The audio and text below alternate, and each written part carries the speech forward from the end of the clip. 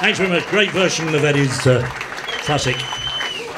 During the Eddie Cochran and Gene Vincent tour, we had a lot of fun, and I guess the night we always both, well, all three of us remember was uh, when uh, Eddie and I, Gene used to close the first half for the first part of the tour, and uh, Eddie would be on just before me in the first half.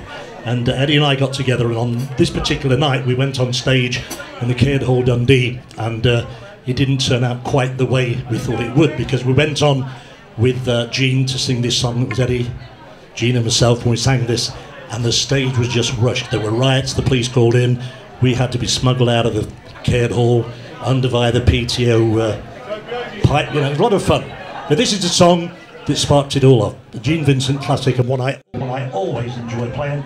And it's on our new album, which you can uh, obtain at the back from my lovely wife, Annette.